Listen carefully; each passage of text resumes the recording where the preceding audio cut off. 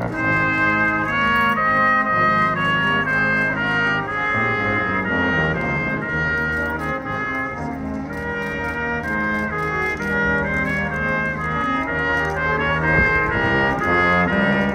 Česko slaví 20 let od svého vstupu do Evropské unie. Praha výročí představuje veřejnosti prostřednictvím výstavy na Mariánském náměstí. Osm informačních panelů tady připomíná důležité momenty členství a upozorňuje také na vybrané projekty, které Unie v Praze spolufinancovala. Výstava se týká projektů podpořených z operačního programu Praha po růstu v předchozích zhruba 6-7 letech.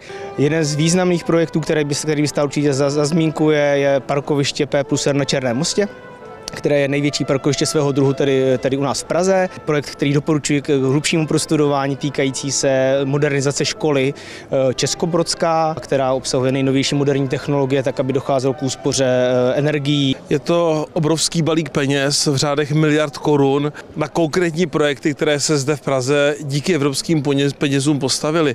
Občané se mohou přijít podívat sem eh, před no, radnici a zde přímo jsou popsány konkrétní projekty projekty, ale je to i kulturní výměna, je to i činnost našeho pražského domu v Bruselu. Výstavu v poslední dubnové odpoledne slavnostně zahájil pražský primátor Bohuslav Svoboda. Metropoli podle něj vstup do Evropské unie přinesl nejen ekonomickou pomoc, ale především možnost diskuze s ostatními státy. My jsme se stali součástí komunity. Máme možnost k té komunitě mluvit.